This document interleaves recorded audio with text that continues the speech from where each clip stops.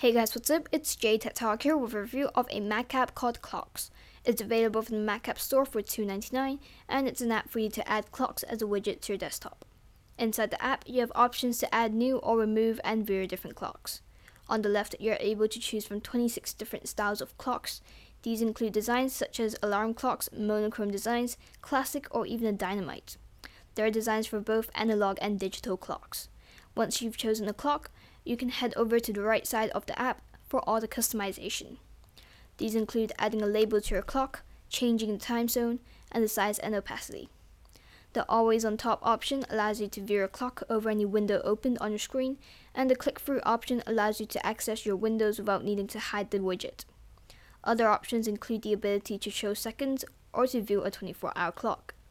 The app auto starts with the computer, and I have not had any glitches, delays, or problems with this app. So why not have a go and see how amazing your wall of clocks will be like compared to mine. I hope you enjoyed this review. Please be sure to like, comment, subscribe, and I will see you in the next review.